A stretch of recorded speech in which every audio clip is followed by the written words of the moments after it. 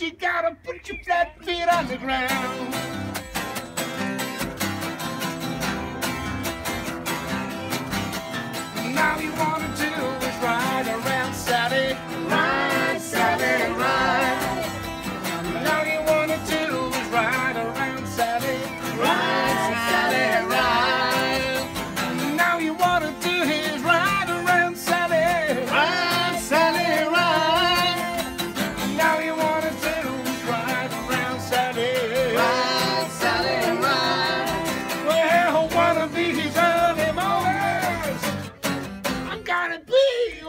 Wiping those withered eyes. Bought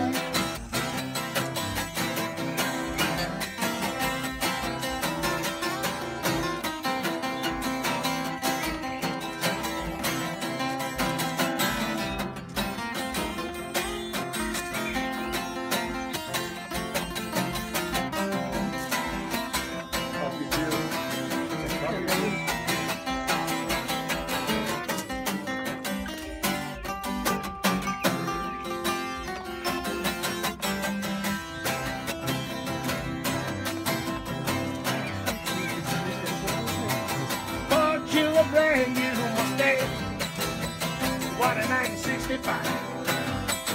Now you come around and signify a woman. Do you want, you want to let me ride lady? Yes, you.